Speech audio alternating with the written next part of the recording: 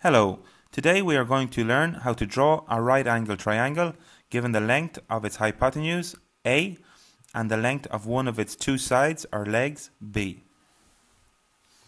The first step is to draw a horizontal line on the bottom of your page as can be seen here.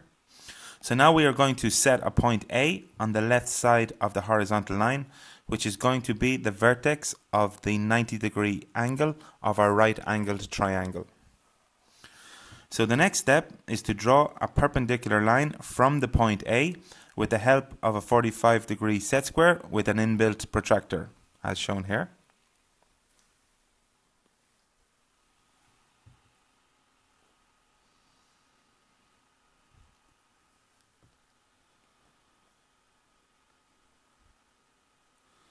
Now, the next step is setting our compass to the length of the given side B we are going to transport this line onto the horizontal line from the point A.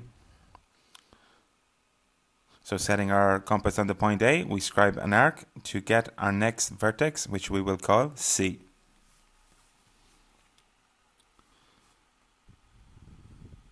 So now, setting your compass to the given length A, which is our hypotenuse,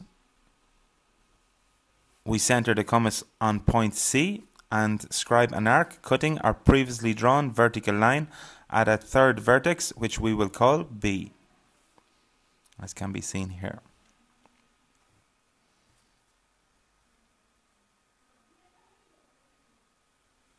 So now with a thicker line or a HB pencil we will join vertex B to vertex C.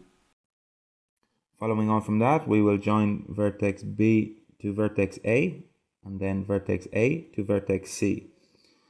As you can see here, opposite vertex A, we have side A, which is in lowercase, and our vertices are in capital letters. And opposite our vertex C is our side C in lowercase, and opposite vertex B, we have our side B, which is also in lowercase. Sides are always in lowercase, and vertices in capital letters. And finally, we put in our 90 degree angle, showing the 90 degree symbol with a dot in the center. So here you have our right angled triangle. Uh, please press like or subscribe to our YouTube channel. Thank you and see you next time. Bye bye.